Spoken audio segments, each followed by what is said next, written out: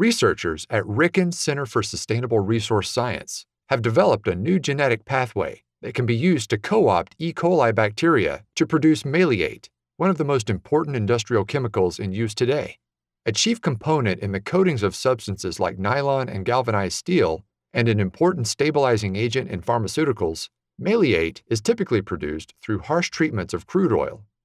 But by using genetically engineered microorganisms to produce maleate, the researchers have developed a much more sustainable approach. Maleate is the end product of a complex chemical reaction.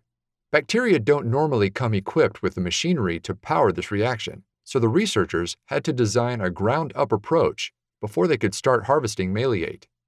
This required careful analysis of the intermediates needed for maleate synthesis and the identification of genes that could help E. coli make each of these molecules.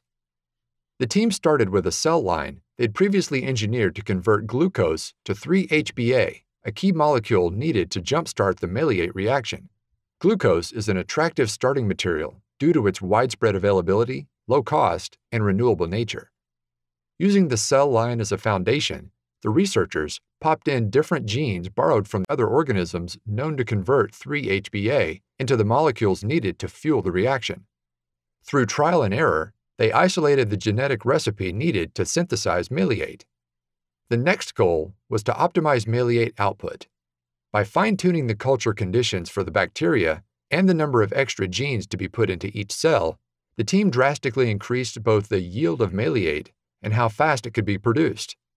In the end, the researchers produced 7.1 grams of maleate per liter of starting material in less than five days.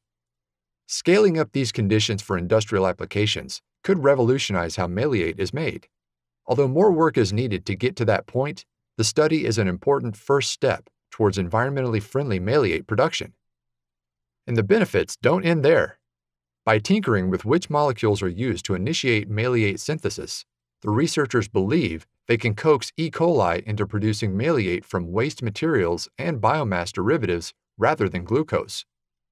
Bringing this element of reusability into the mix contributes to the United Nations 2015 Sustainable Development Goals, particularly those for responsible consumption and production.